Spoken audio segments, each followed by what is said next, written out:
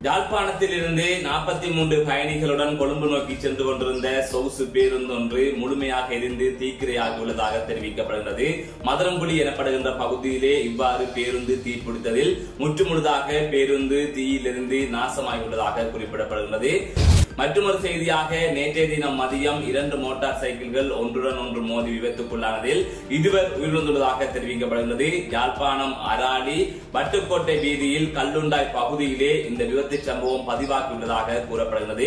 இந்த விபத்திலே இளைஞர் ஒருவரும் நபர் ஒருவரும் என இரண்டு பேர் பரிதாபமாக உயிரிழந்துள்ளதாக செய்திகளிலே குறிப்பிடப்படுகிறது அதை தவிர இவர்களின் இறப்பு தொடர்பாக மருத்துவர் சத்தியமூர்த்தி அவர்களும் சமூக வலைதளங்களிலே ஒரு பதிவொன்றை போட்டிருக்கின்றார். அது தொடர்பிலும் தான் இந்த செய்தி தொகுப்பில் பார்க்க இருக்கின்றோம்.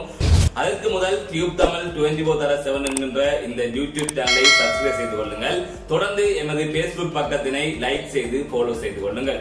யாழ்ப்பாணத்தில் இருந்து நாற்பத்தி மூன்று பயணிகளுடன் கொழும்பு நோக்கி சென்று கொண்டிருந்த அதிசொகுசு பேருந்து ஒன்று மதுரங்குழி பகுதியில் தீக்கிரையாகியுள்ள சம்பவம் தொடர்பில் செய்திகள் வெளியாகி இருக்கிறது நேற்றைய தினம் இரவு பத்து முப்பது மணி அளவில் இந்த சம்பவம் இடம்பெற்றுள்ளதாக அங்கிருந்து வெளிவருகின்ற செய்திகளிலே குறிப்பிடப்பட்டிருக்கிறது இருந்த போதிலும் அதிர்ஷ்டவசமாக அந்த பேருந்தில் பயணித்த எந்த ஒரு பயணிகளுக்கும் எந்த ஒரு காயங்களும் அல்லது உயிரிழப்புகளும் ஏற்படவில்லை என்று தெரிவிக்கப்படுகிறது தொடர்ந்து அவர்கள் உடனடியாக பேருந்து தீப்பிடித்ததை தொடர்ந்து வெளியேற்றப்பட்டதாகவும் ஆனால் பேருந்து முழுமையாக எரிந்து தீக்கிரையாகியுள்ளதாகவும் தெரிவிக்கப்படுகிறது. விபத்து தொடர்பாக அல்லது எவ்வாறு இந்த பேருந்து எரிந்தது என்பது தொடர்பாக போலீசார் விசாரணைகளை மேற்கொண்டு வருவதாக தெரிவிக்கப்படுகிறது. குறித்த பேருந்து யாழ்ப்பாணத்தைச் சேர்ந்த தொழிலதிபருக்கு சொந்தமானது என்றும் அங்கிருந்து கிடைக்கின்ற தகவல்களின் அடிப்படையிலே தெரிய வருகின்றது. மற்றொரு செய்தியாக நேற்றைய தினம் யாழ்ப்பாணம் அராலி வட்டுக்கோட்டை வீதியில் கல்லுண்டாய் பகுதியில் இரண்டு மோட்டார் சைக்கிள்கள் நேருக்கு நேர் மோதி விபத்துக்குள்ளானதில் இரு இருவர் உயிரிழந்துள்ளதாக தெரிவிக்கப்படுகின்றது. ஊடகங்களிலே சம்பவ இடத்திலே இருவரும் பலியாகியுள்ளதாக கூறப்படுகின்றது. ஆனால் மருத்துவர் சத்தியமூர்த்தி அவர்கள் தனது சமூக வலைதளத்தில் வெளியிட்டுள்ள பதிவில் யாழ்ப்பாணம் போதனா வைத்தியசாலையில் விபத்து பிரிவில் சிகிச்சை அளிக்கப்பட்ட நிலையில் சிகிச்சை பலனின்றி உயிரிழந்துள்ளதாக ஒரு பதிவை வெளியிட்டிருக்கின்றார். அதிலே ஒரு முரண்பாடு ஏற்பட்டிருக்கின்றது.